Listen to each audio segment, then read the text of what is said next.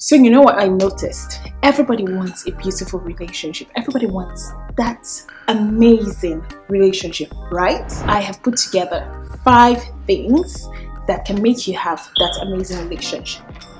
First of all, you have to know you. You have to know you, you have to love you. You have to get to know yourself. What do you really bring to the table? And if you were to date somebody, would you date you? Secondly, don't be desperate. Guys can smell desperation from a mile away, girls. Guys can smell it. They know if you're desperate or if you're running from something. Chill.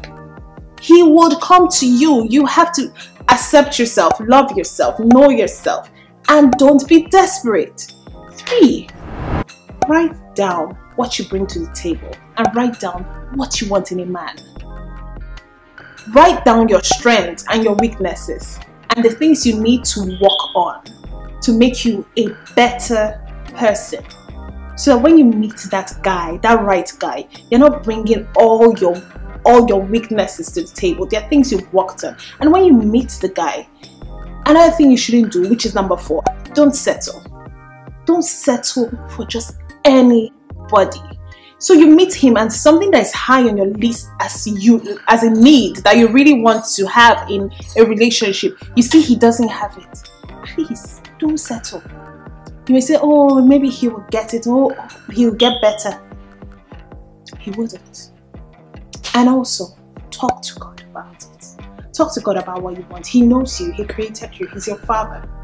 Talk to Him about what you want, what you want in this man that you're going to get married to. And He'll give you the right person that fits you. Do you guys have any other thoughts of what you need to make a beautiful relationship? I would love to see. Please drop your comment below. Talk to you later. Bye. So guys, before you leave my channel, please subscribe and turn on that notification button so you'll be the first, yes you, the first person to get any of my video uploads or my latest videos. Alright, talk to you soon. Bye.